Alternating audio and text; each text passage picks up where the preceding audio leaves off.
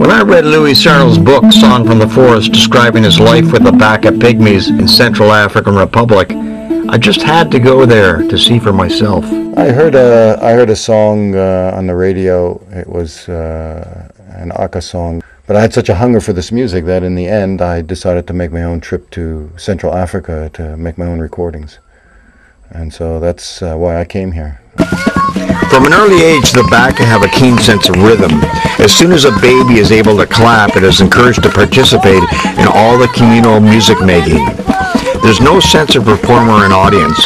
This communal music making constantly helps to strengthen the bonds between the individuals in the groups.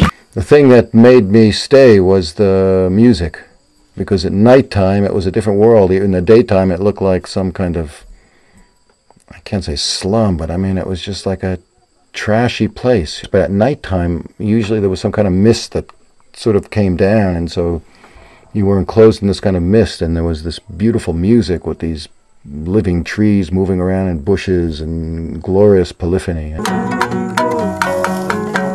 Most Baka music is vocal and is polyphonic.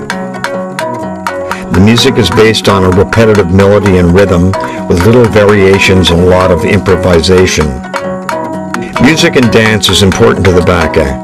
It is done to prepare for a hunt or show a skill. Music is also used in daily life for healing rituals, initiation rituals, traditional stories, group names, and for entertainment.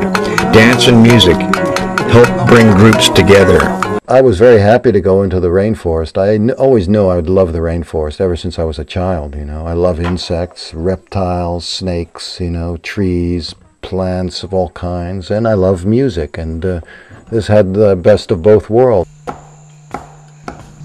The Baka believe that the forest is their good parent and that it looks after them. It provides all their needs, food, clothing, shelter, and tools. Like a good parent, it is vigilant in watching over them, but like a human being, it has lapses. They believe that if something bad happens to them, it must be that the forest is sleeping.